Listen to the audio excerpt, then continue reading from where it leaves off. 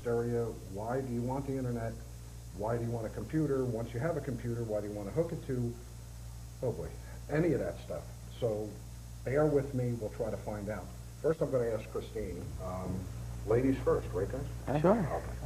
Um, Christine, t- just give me a, a little idea of what, I mean, computing's come a long way. I remember, uh, well, back in the old days, um, when I had my Commodore 64 and VIC-20 before that and everything, they made things called a modem, and you could talk over the phone lines with, uh, uh, or get into certain areas, and there wasn't that much out there, uh, the areas you could get into, and then all of a sudden, it seems like almost overnight, there's the internet.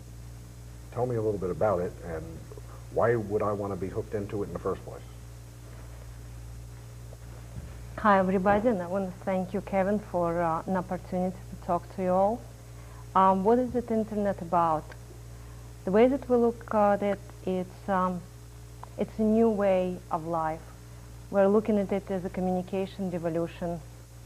Um, it ties people all over the world.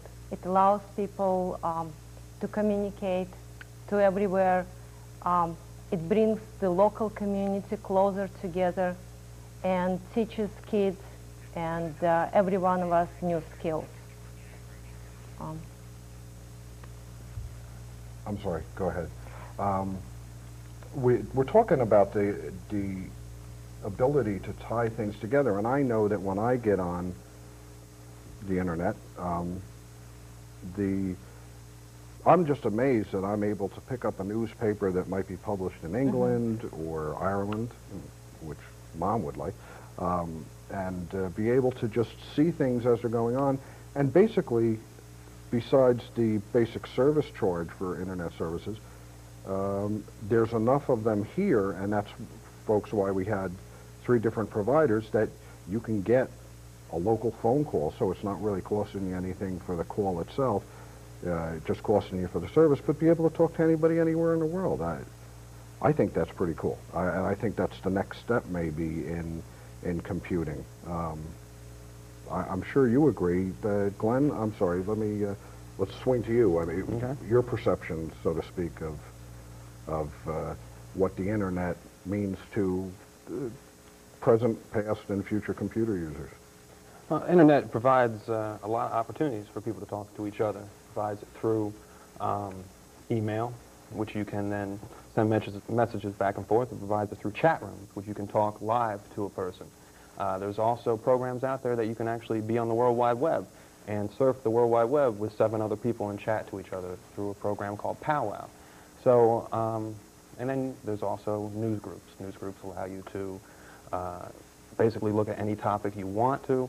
Um, also talk to people who are interested, make postings on those news groups to people who are interested. Like, for example, if you have uh, an exact part you need for a motorcycle, you just go into a news group that may be alt.motorcycles to see if anyone has that exotic part anywhere around the world to ship it to you. So it, what it does and what it does for businesses is it turns a local business, as Christina was saying, or a local community into an international presence. Uh, you can turn your business and make it known internationally through uh, advertising on the World Wide Web. Yeah, that's certainly interesting. Jimmy, what, uh, you and John, what, what got you guys started? The thing that I think is so amazing about the internet is when people advertise, you know, in the past few years, they do local papers, you know, they do, you know, New Jersey state papers. Well, this gives a, a business an opportunity to market the whole world. So your business isn't just known locally now, it's known globally. So I think it's going to change the way that business is done all over the world.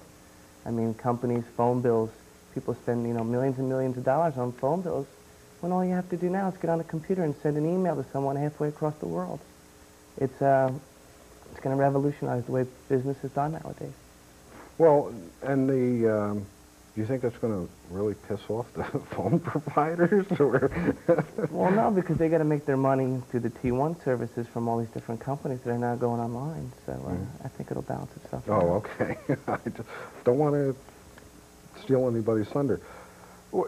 Personally, I um, been basically learning about computers, just like the folks who have been watching have and the people who have been on.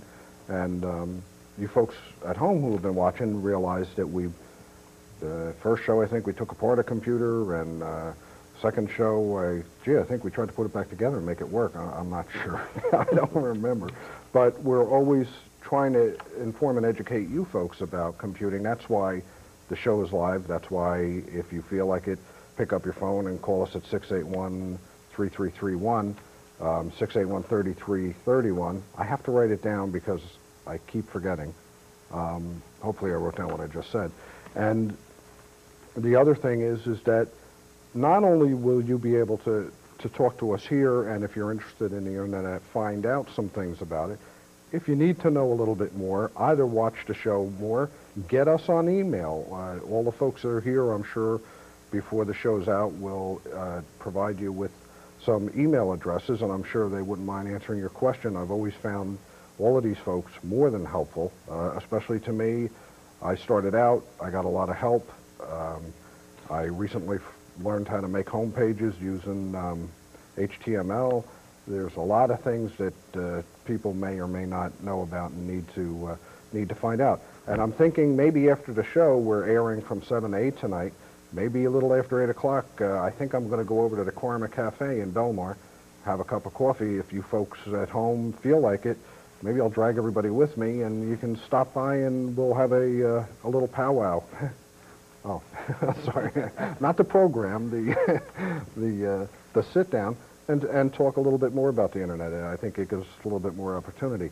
One of the things, if, if uh, the camera can zoom in on our uh, computer screen, we'll get a little bit of an idea of what, um, what we're looking at. As a matter of fact, I think what's happened is that um, Glenn uh, has his notebook. We have a lot of notebooks here and only one big monitor, so um, I can only, there we go, uh, hook one of them up at a time. Uh, I guess this is Technocore's communications homepage. Now, let me back up just a tiny bit so we don't confuse anybody. And while we're looking at this Is it- homepage, Well, it's not, we're not on the internet right now. okay, we're not on the internet. We had to uh, reboot to Oh, get that's this right. back on. Okay, this I'm is, sorry. This is the, the top screen of, Of your computer. of my computer. Oh, Yes. sorry, but but it looks cool, doesn't it? um, now, there's when people buy computers, there's some things already built into them. Um, most of the times nowadays, people are going to wherever they happen to buy one, but you just about can't buy a computer without a package of software already installed on it. So you probably end up with uh, Windows 95, or if you uh, really twist your arm, uh, go back to Windows 3.11 or NT Workstation or something. But in any event, you'll end up with an operating system. You'll end up with some different programs, maybe word processing, et cetera. You'll also end up with usually one form or another of online service. Now, online means through the phone lines, and, and I don't want to get real technical about it, but the online, so America Online, for instance, and CompuServe, and uh, I guess Prodigy is one of the other, are not the same as the internet, right? No, they're, they're their own private online service, but they give you access to the internet. Okay. Um, Christine, let me ask you, what, um, what are the benefits over, I mean, if, if I get the computer and I'm at home, uh, and, you know, I'm a fairly new family to computing, so, gee, I'm going to toy with America Online a little bit. Um, I don't, I obviously don't personally see anything wrong with that. It's a good way to kind of start moving towards um, what you want to do and then maybe jump into the internet later. Um, have you, you've probably used America Online sometime. We'll look at it. Admit it. we, we're not going to, we, we- oh, it is going to be on tape. I was going to say we won't tape it, but we will. And why would you tell somebody, well, you know, America Online's good. It has a lot of uh, little things that you can use, but why would you recommend somebody go right to an internet service as opposed to uh, one of the online services that gives you some um, accessibility to the uh, to the internet? Um, one of the main reasons that um, people are looking for is the price. And when you go to America Online, they will charge you two to three dollars an hour. So when you go with a local provider, it's usually unlimited.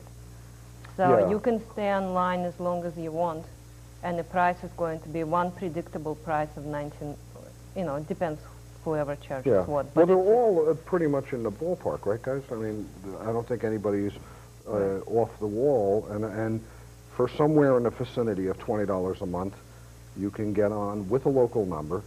Uh, I've also noticed that with some of the online services, such as uh, America Online, which I had for quite a while, um, was that, jeepers, I think I had to use a Freehold number for 14.4. That's the modem I happen to have. And um, that was a toll call every time I used it. Um, I've noticed with with everybody just about, except for Technicore, because you guys are down in Jackson, but I don't know how your numbering system works.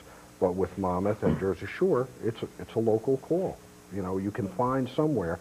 And so you guys basically got the two-county area, I don't know if you want to call it sewn up, but covered, so that somewhere you can always find a local number, yeah?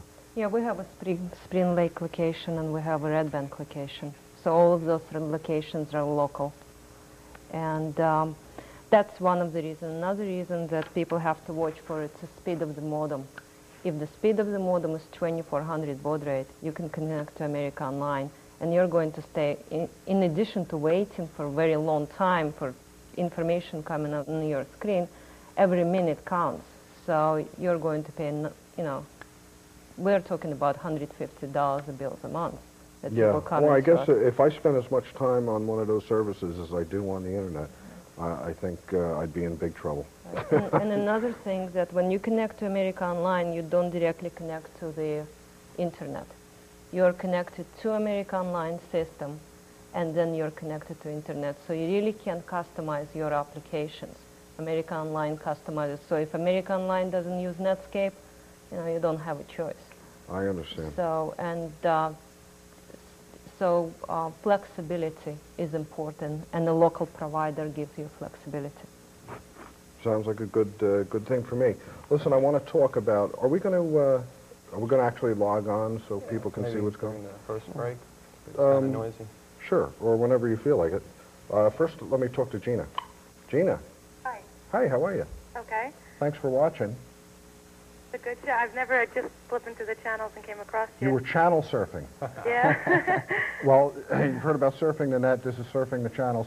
It's okay. Everybody does that, even with uh, with the other show that I usually have on. They just happen to be uh, sliding through and happen to find something. So uh, we'll see you at Karma later, right? You're going to come down and have coffee with us? if I had a babysitter. It's okay. wait, wait, Christine? How about my Just- daughter? Christine's daughter's here. Maybe we can send her. I'm sorry. I, I'm just I'm just having some fun. Go ahead. I'm, uh, ask away. Recently, I wrote I wrote a web page, a home page, Okay. and I wanted to find about find out about getting a getting it published, but locally, where I can go there and give them my changes instead of having to mail them in or stuff like that, or email them. I wanted somebody somebody close, like in the tri-state area, to Uh, publish my page. Okay. And and is your page like a home page or is It's a it? 14-page site. Business or is it personal? Or? It's Sounds I like have business. a business one and a personal one. I see. Well, there's there's a number of things we can do, and um, Glenn and uh, Jim and then Christine can um, sweep up a little. Where are you located, Gina? In Farmingdale. Okay. And uh, talk to them about service and also talk to them about FTP. It's called File Transfer Protocol. It will allow you to transfer your information, your home pages, up into their server so that Okay, I wasn't real familiar with the the programming. I just bought a web editor and put the thing together. Basically, winged it, and it looks really good. So I I wanted to get it out there. now, d- does the web editor you have allow you to see what your product looks like? Yes, I browsed, um, used Mosaic and Netscape to see how it came out. Yeah. See, what's amazing, um, we're, Gina, we're kind of in the same boat because I fairly recently, um, uh, Jim and John were helping me out and said, you know, well, you try the HTTP and or HTML and make your own homepage. And I'm going, oh man, I, I've never heard it. No, thank you. But I got on and found something called WEP, I think it was, and it was a, a, a simple web page editor, and I did the same thing, and I made it, and then I said, well, how do I see what it looks like?